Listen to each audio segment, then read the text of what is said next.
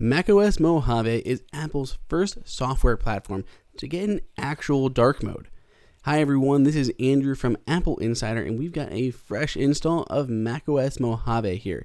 In the past, Apple had a dark and light menu bar option that came with Sierra, but here in 10.14 or macOS Mojave, we have an actual system wide dark mode that works just across everything, including the dock, menu bar, and even within apps. Obviously, the menu bar is pretty familiar if you've used the dark menu bar in the past, but the dock is now all dark. We obviously have a dark trash can, dark background, and unrelated, that recent section ported over from iOS.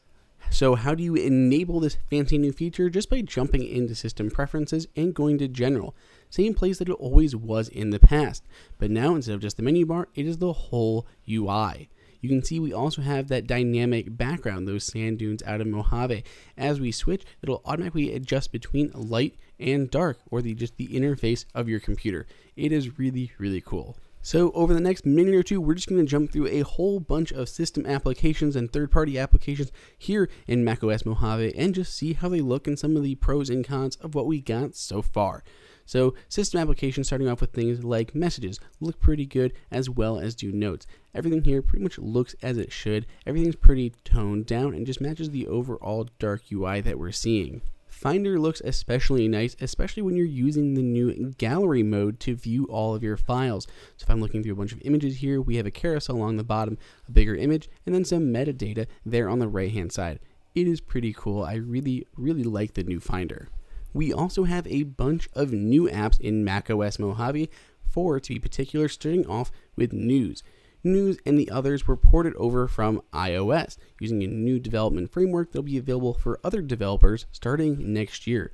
And it seems pretty slick. I don't notice any hiccups or weirdness with the app at all, and it seemed to take Apple very little work to actually port these apps over after news, we also have the Home app, which is going to be super nice to control your smart home. Looks really nice, works really well, and feels very, very similar to the iPad application, especially with the larger design. Though we're still not seeing AirPlay 2. Either way, it looks great with the dark UI.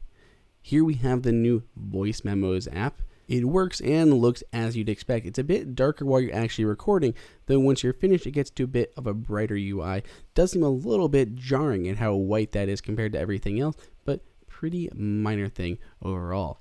And then after voice memos, we have the new Stocks app, another first for the actual Mac. It actually builds in Apple News at the same time, so I can view the actual companies and stock listings there on the left, see how they're trending, adjust the graph here on top, and then see a bunch of news headlines right below that. It's kind of cool seeing Apple build these two applications into one another. They already have the news, why not build that news information into their stocks where it's relevant? Going into some older applications that have been around quite a while, we have iTunes, which honestly looks really, really nice. Still not a full redesign of iTunes like many have been asking for, but it definitely looks pretty solid. We have reminders, very minimalistic here, not a lot to see. Photos app, Photos app has always looked pretty solid in dark mode, especially when you're actually editing a photo. Now the whole thing has that darker UI and it definitely looks pretty classy the new Apple Books application, a little bit of a revamp here along with that darker UI, and it got a big revamp and a whole new store over on iOS. So definitely a lot going on here with the Books application, makes for reading across all your platforms pretty darn simple. The whole new Mac App Store, this has been a long time coming, and it looks so much better.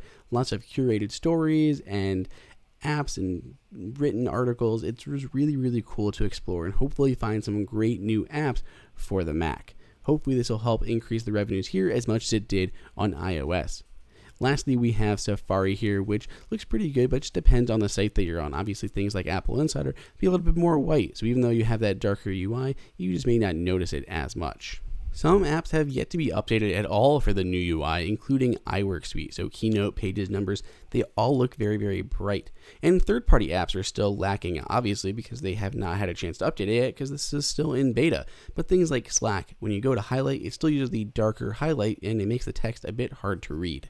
Other apps like Final Cut Pro 10, they have not been updated, but they look pretty darn good. They already had that darker UI that looks right at home in the new dark mode in macOS Mojave. So, what do you guys think of macOS Mojave's new dark mode? Do you guys like it? Do you want to see more? Does it not go far enough?